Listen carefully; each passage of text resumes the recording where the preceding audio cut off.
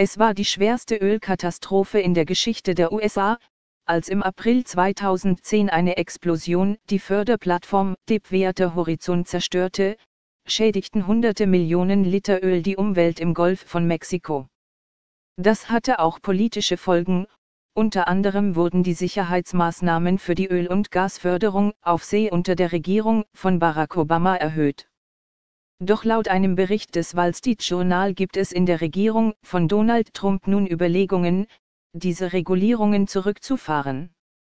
Die für die Öl- und Gasförderung auf See zuständige Aufsichtsbehörde BSEE habe dem Haushaltsbüro des Präsidialamts entsprechende Vorschläge präsentiert, berichtete die Zeitung.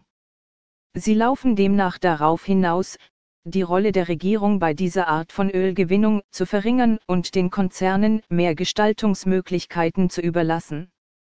So solle eine Regelung gestrichen werden, wonach die für kritische Ausrüstung verantwortlichen Kontrolleure von der BSEE zugelassen werden müssen. Außerdem sollen Bestimmungen gelockert werden, die eine sofortige Datenübermittlung von Ölplattformen an Festlandsanlagen vorsehen, wo sie von den Aufsehern geprüft werden können, wie das Blatt berichtete. Mit der geplanten Lockerung der Sicherheitsmaßnahmen würde Trump der Öl- und Gasindustrie weiter entgegenkommen. So könnten die Unternehmen etwa 760 Millionen Euro Kosten innerhalb der nächsten zehn Jahre sparen.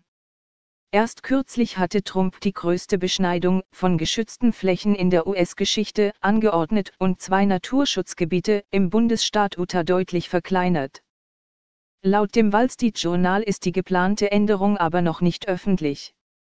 Von offizieller Seite wollte niemand einen Kommentar abgeben. Bei der Explosion der Bohrinsel Deepwater Horizon wurden im April 2010 elf Arbeiter getötet. Es kam zur größten Ölpest in der Geschichte der USA.